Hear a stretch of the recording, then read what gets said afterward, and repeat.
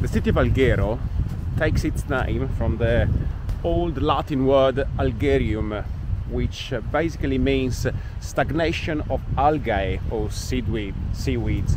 And well, guess what I'm standing on? Literally, a stagnation of algae, seaweed.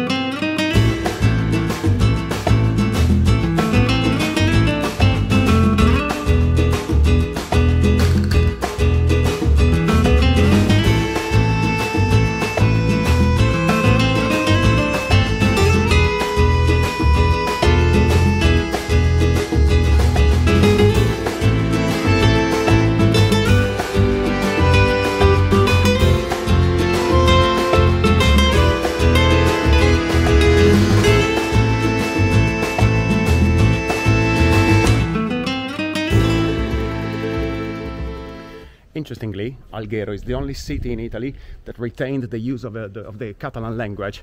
Broadly speaking, the, language now is spoken in modern day Barcelona and what used to be the Kingdom of Aragon, modern day Catalonia, really. And uh, it's actually the only case in Italy, and it's due to the fact that back in the day, at the end of the Middle Ages, the King of Aragon uh, invited or forced some families from the Kingdom of Aragon to move to the area for a sort of forced colonization of the island, really. And uh, of course, these families retained they used their, of their own language, and it's quite interesting. And although now it's only recognized as a minority language, it's not really the official language. Everyone speaks Italian, but it's interesting because in some streets you will see the names uh, both in, uh, in Italian and in Catalan. And I don't know if you can see it here, but let me show you. Okay, there is a small symbol just right there, and I don't know if you can see it at the top you see the red and uh, yellow thing? That's the flag of Catalonia.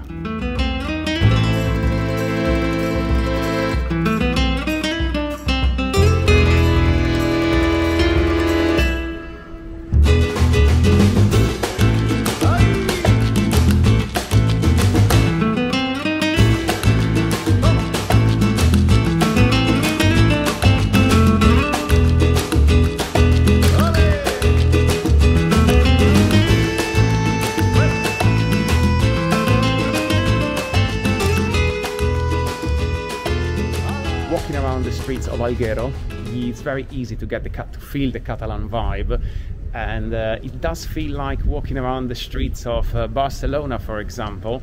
And uh, because the city is not entirely Italian, is not entirely Sardinian, and it's not entirely Catalonian either. It's like the three cultures come together and make the city absolutely unique.